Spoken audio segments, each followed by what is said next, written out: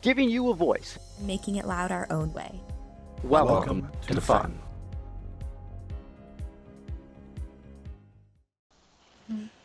So we're gonna yeah. jump into uh, some of our dark horse teams that we had. Uh, we only had two teams match in the dark horse category, uh, so we'll talk about those first, and we'll talk about some other dark horses that are our host pick. We're never going to be able to get to all the teams uh, that we can, but we definitely want to mention some that have popped out a bit. Uh, so Tegan, uh, I'd like you to take it away with the team that is pronounced aimbot. I learned, and not AEMbot because I had no clue how to pronounce that. In, I was about to call it aimbot, so that works for me. I was corrected last night, so it's sixty-four forty-three. Yeah. So 63, 64, 43, aimbot of, of Hillsboro, Hillsboro, Oregon. Oregon. Oregon. Oregon. Oregon. Oregon. Oregon. I think Oregon? your okay. Oregon. I think your phone auto corrected to oh, did it? Oh, which is amazing.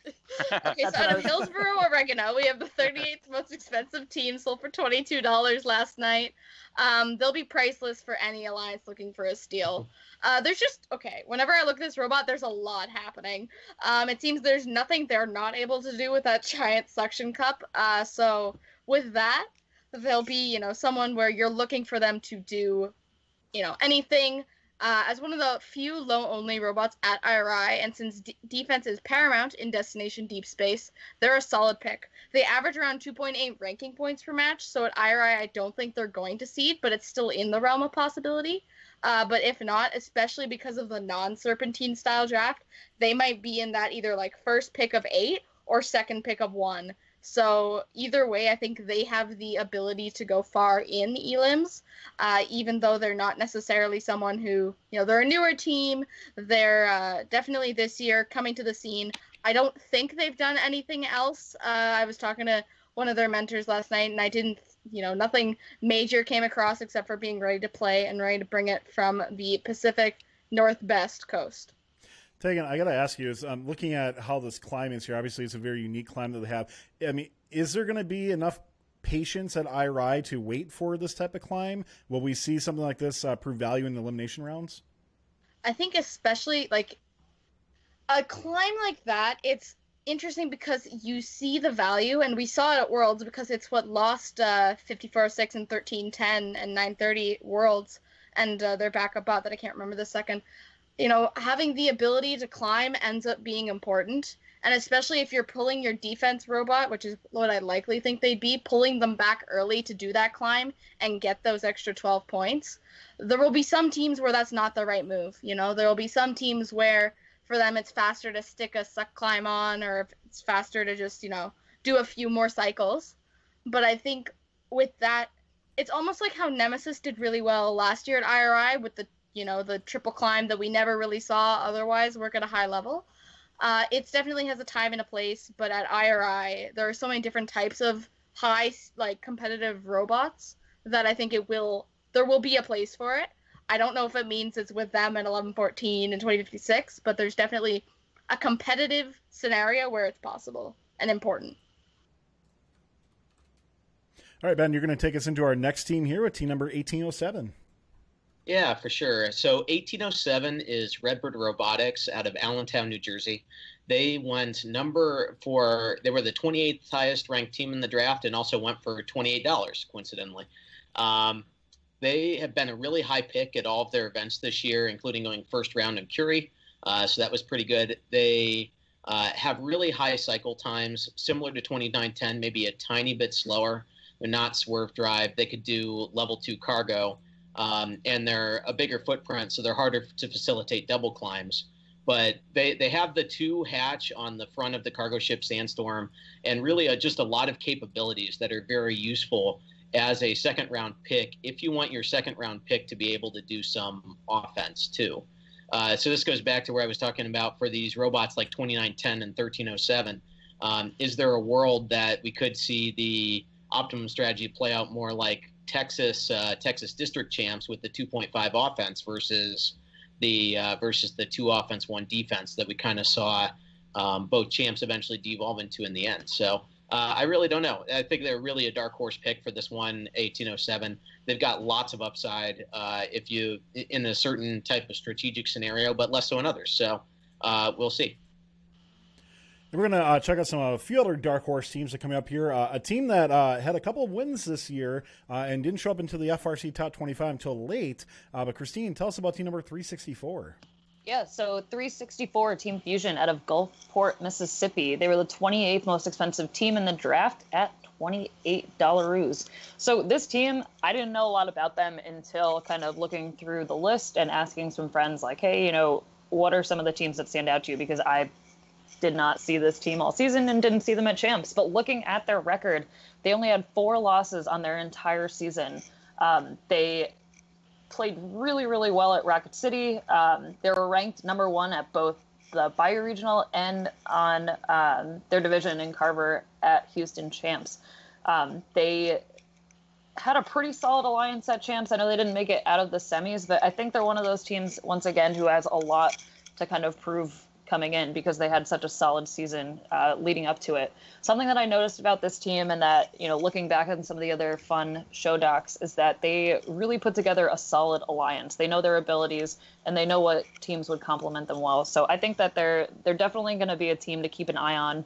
Um, I think that they're versatile and they'll be able to really complement another alliance really well. Have any of you guys seen um, or like played with them? I guess I know a lot of us are North Champs people in here, but um, I got yeah, to watch them a bit. I, I, watched them play actually at championships a bit, uh, and uh, you know they're a team that I think they, they it's kind of interesting because they fell on because you had 364 uh, as the first seed and then 49-11 uh, as the second, and uh, there definitely was a very uh, real scenario for a scorched earth over on Carver mm. this year. Um, so I, I, think 364. Some people maybe not confident in their abilities as number one alliance captain, but I thought uh, the robot, by, by the time they got through the two regionals, I thought was looking really good. Um, I, I remember talking to a couple people in regards to uh, stats where they were at for that, and uh, their scoring was a little bit lower than like a 1678, uh, that sort of thing. But they still were definitely out there. Well, the same division as them is why I, why I bring them up. Yeah. Um, but they're definitely still out there. I, I think at IRI, I think they have a fantastic capability to be picked up uh, as a perhaps an early uh, second round robot. Uh, could they go a little bit higher than that? Maybe. I don't really know if I see them getting picked in the first round uh, that, but they could be a, an early to mid second round that complements a. Uh, uh, a set really well. Um, this is a team that did rank number one, though, so you might see them still rank high. I think that is still a possibility as they rank number one in their division at championships. Yeah, you could see them seeding. I think a lot of that will come down to schedule, but I think, um, I mean, the robot is, it's not necessarily the top tier of IRI. It's not like that S tier, but you could still see, you know, with a good schedule and consistent play, you don't seed first in a division like by pure luck. You do still have to put mm-hmm. some work into it. So, would be cool to see if they can actually, you know, keep it keep that like notch and if Team Fusion can be at the top again. Yeah, it's you usually see a lot of seeds from three to eight at IRI there's usually two or three of them that you really wouldn't expect. I remember that from almost every year. There's always somebody who's kind of unique in that role. So I think um, you know, especially if they're they've had this strong of skill of seeding this year, they could they could do very well. Yeah, Justin, why don't you take us around with our next team and team number nine ten? From Madison Heights, Michigan, Bishop Foley Catholic High School is the Foley Freeze. So the 16th most expensive team at just 36 bucks. Uh, only scooped up one blue banner this year, which is why I kind of listed them as a little bit of a dark horse. Um, they did have a really tough quarterfinal upset at Fim Champs. Uh, they're on the number one alliance with 67, of course, upset um, by the number eight alliance. But 910 was actually in our division, 3015, uh, at our and the Archimedes division in North Champs. And I can tell you from firsthand observations, they are a very, very good team. Um, they were certainly in the mix. Um, we they were in our, our top tier in the division in our scouting. They played very well, um, and I just think that there's um, a really good chance that they'll be in the mix this weekend to IRI as well. Um, maybe a little bit of a dark horse, but we'll see. I mean, they get, they got burnt by alliance selections a bit, right? Where they end up seeding just did not work out very well for them. They weren't yeah. picked up. I think where some people thought they were going to pick them uh, on the Archimedes division. So yeah, I, I think uh, you know just a lot of bad luck for nine ten this season, but a fantastic robot nonetheless, Justin for sure. Like right. they're this was their fir- this was their first year doing swerve too, right? So I think from what I understood, there wasn't a lot of practice time uh, before the season, but now you've got like it's been what two three months since uh, I don't know how time works, but like it's been a while since you know the robot's been out of the bag.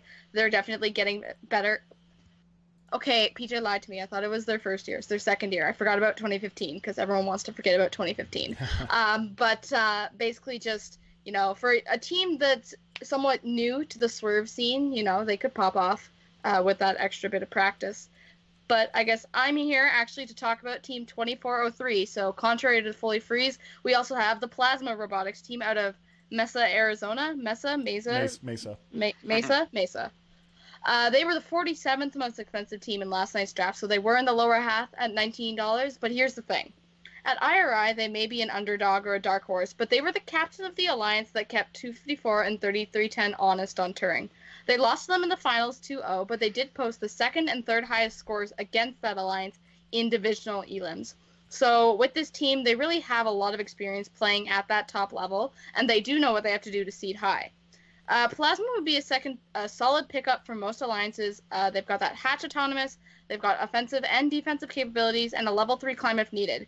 They came out of the gate at their first event with a level three success rate of 80%. Uh, so when that's what you're starting with, you know it's pretty solid to begin with.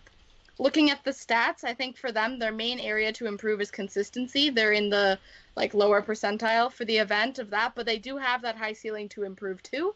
So that's what they'll need to do to come out as a real dark horse. But for now, you know, depends on how seriously they take it. You know, if they're if they're there to eat the corn, they'll still be solid, but they could actually pop off as well. I think this is a great pick for a dark horse here, Tegan. You, you have uh, a team that was finalist three times, right? So, if, I mean, if you're in the fantasy way and you want to get finalist points, you're in great shape for something like that. But a team, you know, from Arizona, right? How many teams can you list off from Arizona that might be able to come in period, right? And then this team comes to IRI, uh, I, I think for the first time, right? And uh, it will be interesting to see, you know, can they get in the elimination tournament? Can they complement the alliance the way they need to? But I think it's a fantastic pick on, on your end here. Thanks. So I think next up it's Ben has the next uh, pick for us. Yes. So I'm going to talk about Team 2168, the Aluminum Falcons, who, for many teams, may or may not be necessarily considered a dark horse uh, by the truest sense of the definition. But I think for IRI, this is probably a good pick here. Because if there's any team that I think about maybe coming out swinging and being able to compete at the highest levels with, with the teams that we've had in the lock section, if they've uh, shifted things right, I think this might be the team to do it. Uh, so they're from Groton, Connecticut. They went number nine uh, overall in rank in our draft at forty dollars. So they've got four blue banners this year, including one district championship win with Kristine's team, um, and they they for historically from last year and events prior they've really shown themselves to make continuous improvements over the offseason, which is why I think they might be a dark horse to really break into the top tier here, especially since we know that they have a suction climber cheesecake. So, you know, maybe they implement it on themselves. I think suction climbs are going to go a long way at IRI. So uh, we could see a lot of impressive work out of this team here at this event.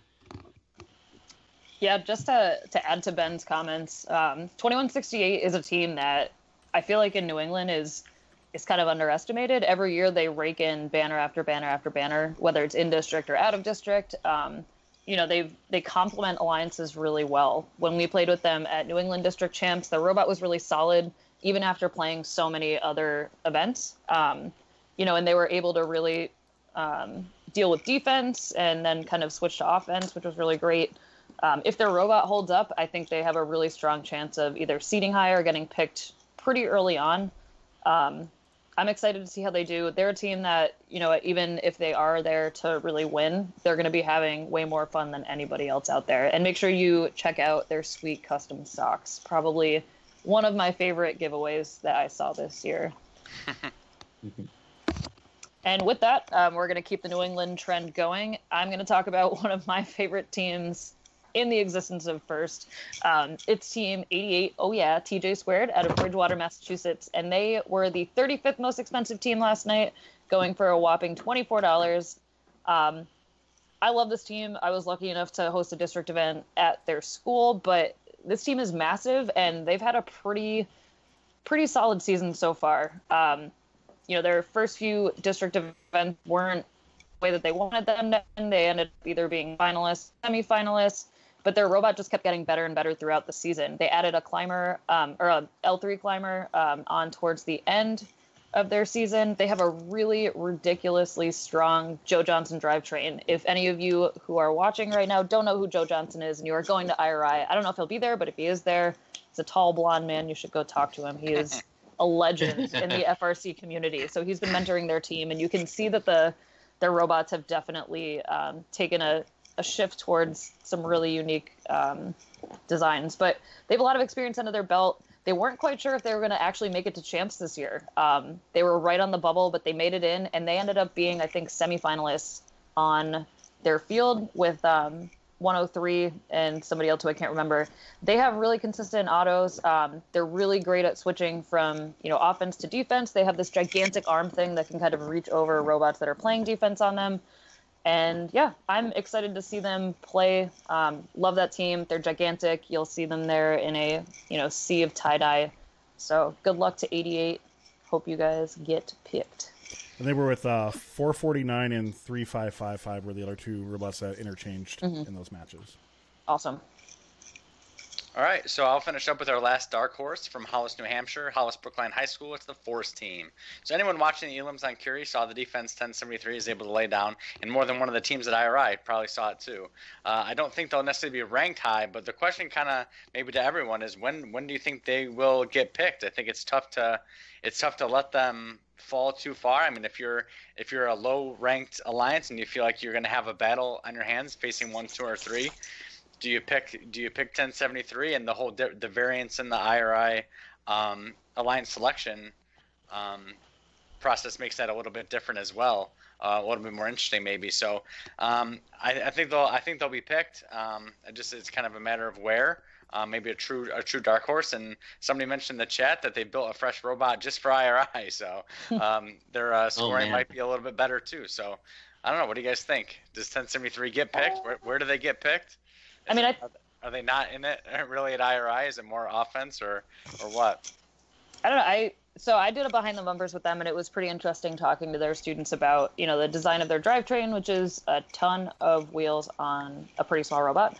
Um, but I think that the strategy that they implemented at Champs to beat you know the powerhouse team of or alliance of 2056 1114 is something that anybody can go and implement with the right kind of I don't know like dynamic amongst a alliance. Um, they were really smart with their alliance partners about you know keeping an eye on refs, keeping an eye on counts, um, and really communicating. So I think yes, they'll get picked because they had such a great run at champs. But do I think that they're the only team that can really execute that type of defense? No.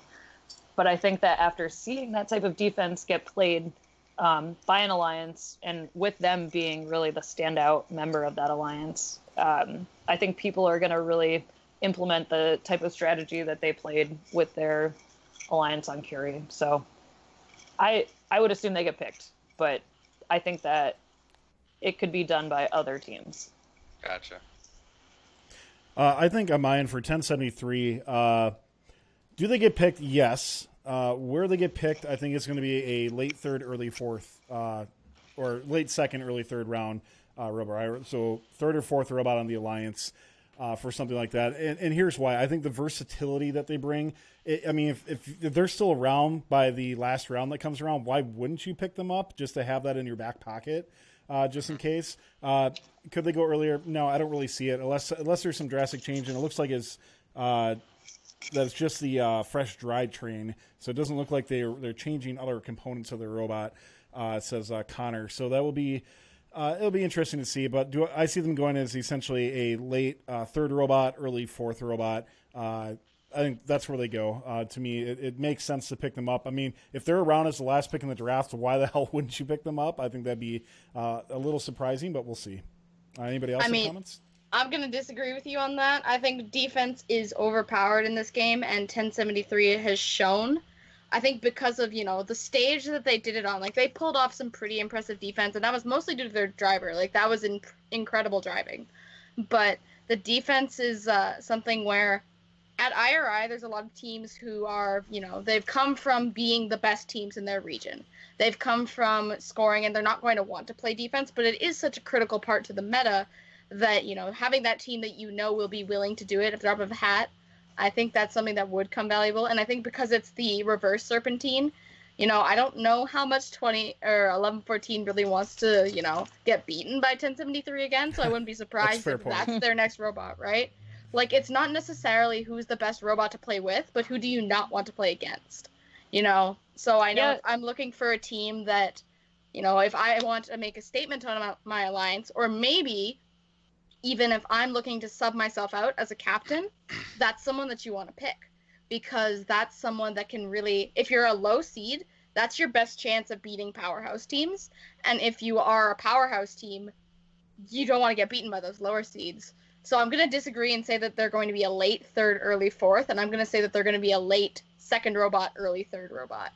Yeah.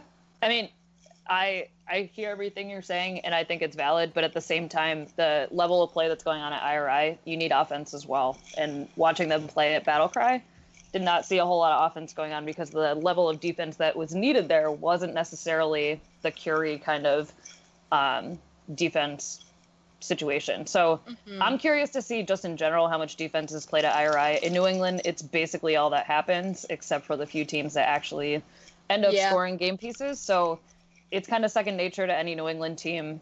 But I I don't see a purely defense robot being a necessity at IRI with the level of play that we're seeing with offense and other things. So I don't know.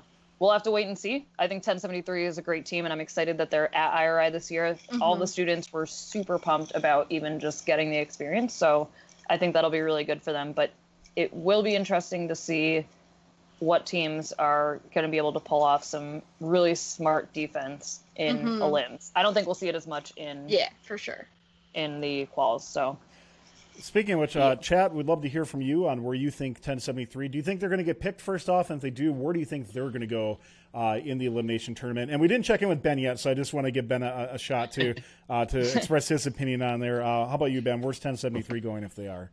Oh, I, I don't know for sure. I think that I think they'll get picked mid. Um, I'm gonna split the middle here. I think they'll they'll get picked mid uh, mid second round. I think that there's going to be a team that's looking at this like, oh, there's no way I have the offensive firepower. I should take 1073.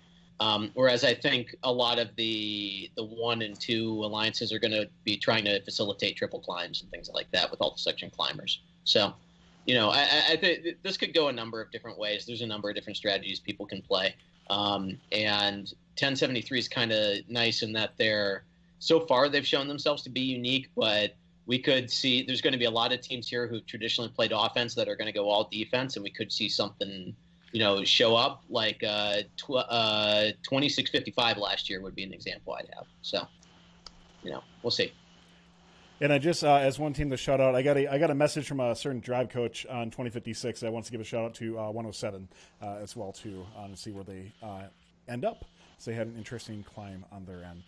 Uh, so don't forget you can uh, select your own fantasy team with the Pick'em League. Once again, uh, go to tinyurl.com forward slash fun IRI. Hey guys, uh, listen up here. If you decide to enter this draft, it closes at Thursday at 3 p.m. Eastern.